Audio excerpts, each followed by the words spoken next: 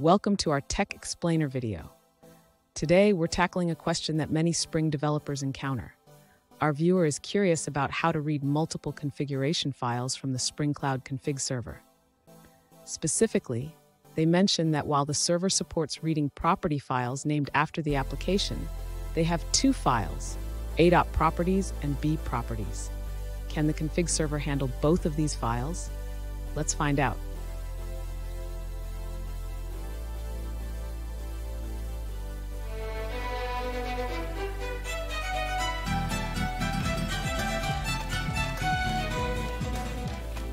Welcome back to another technical video. Today we're going to be going through your question, answering it and hopefully finding that solution you need. Guys, remember stay just a little bit crazy just like me and hopefully you get through that resolution. So let's continue on.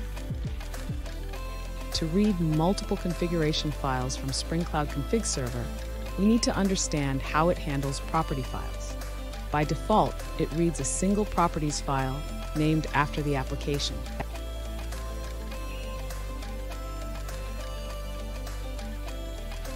In your case, you have two properties files, a.properties and b.properties.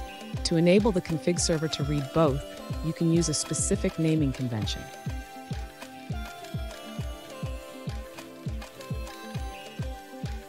You can achieve this by creating a composite configuration.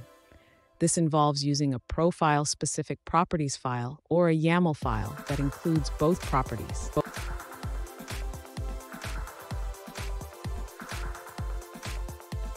Finally, ensure that your application is set up to load these configurations correctly.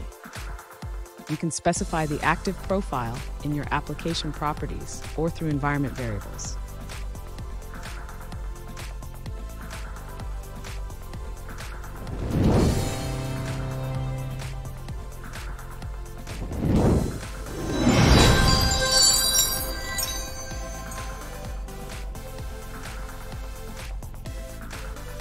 Let's now look at a user-suggested answer.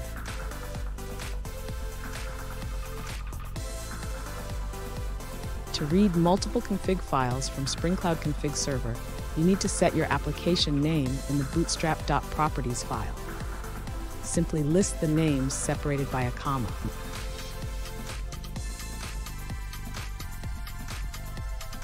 And that's it guys. I hope this video helped answer your question and you found that answer that you're looking for. Now, please hit subscribe for the help. I really appreciate it. And I'll see you next time on another one of these videos. Cheers.